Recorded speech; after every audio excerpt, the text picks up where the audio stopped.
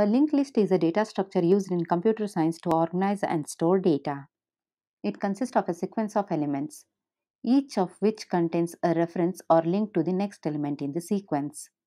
The last element typically has a reference to null, indicating at the end of the list. Representation of linked list. Each node has two components, data, the actual data stored in the node. Next, a reference, pointer or link to the next node in the sequence. The last node's next points to null. The linked list is then formed by connecting these nodes.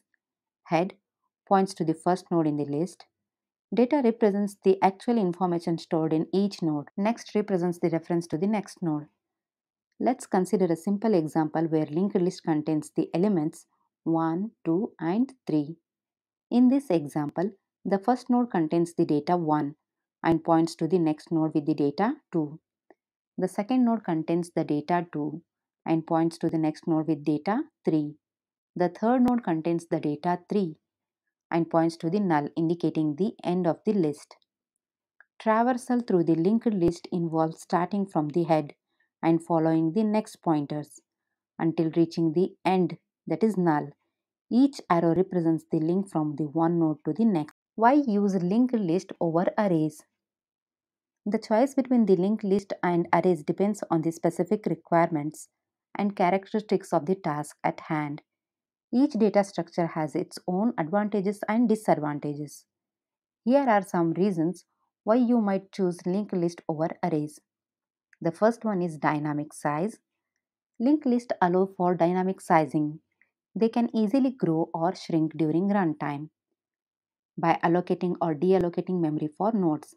In contrast, arrays in many programming languages have fixed size and resizing them can be inefficient efficient insertion and deletion. Insertion and deletion can be more efficient in linked list, especially when dealing with the elements in the middle of the list. In arrays, inserting or removing an element may require shifting all subsequent elements. No pre-allocation of memory. Linked list don't require pre-allocation of contiguous block of memory. Each node in linked list can be allocated independently, which can be beneficial in scenarios where memory is fragmented or when the size of the data structure is unpredictable. Constant time insertion or deletion at head. Adding or removing elements at the beginning of the linked list is constant time operation as it only involves updating the head pointer and the next reference of the new first node.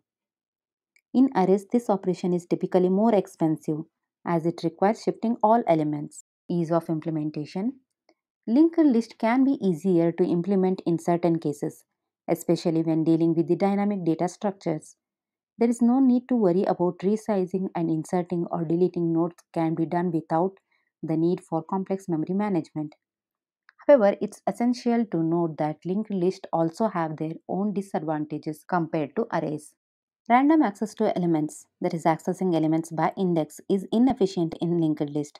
In arrays, direct access is achieved in constant time, but in linked list, you need to traverse the list from the head to the desired position. Memory overhead. Each node in linked list requires additional memory for the next pointer, leading to a higher memory overhead compared to arrays. Cache performance. Arrays have better cache performance due to their contiguous memory allocation, resulting in faster access time. Linked list may cause cache misses more frequently, leading to slower access times. The choice between the linked list and arrays depends on the specific requirements of the application. For scenarios where dynamic sizing and efficient insertion or deletion are crucial, linked list might be better choice. In cases where random access and memory efficiency are more critical, arrays may be more suitable. Let's have a look at the overview of the types of linked list. There are several types of linked list, each with its own variations and use cases. The two primary types are singly linked list and doubly linked list. Here is an overview of these types. In a singly linked list, each node contains data and a reference to the next node in the sequence. The last node typically points to null, indicating the end of the list. Traversal is only forward, simple and memory efficient. Doubly linked list. In a doubly linked list, each node contains data and reference to both next and previous nodes in the sequence allows for traversal in both forward and backward directions, more memory overhead due to the additional previous pointers.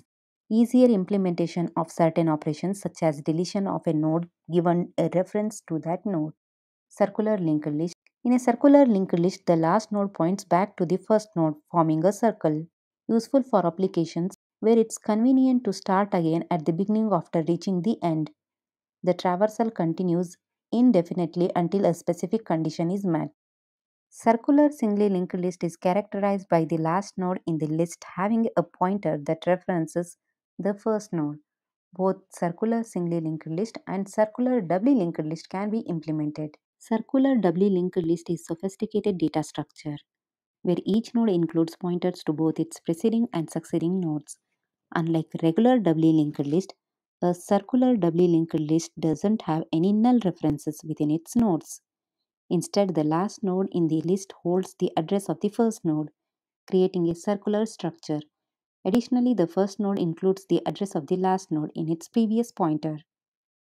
These are the some of the common types of linked list. Depending on specific requirements and constraints, one of type of the linked list may be more suitable than the other for a given application or a problem.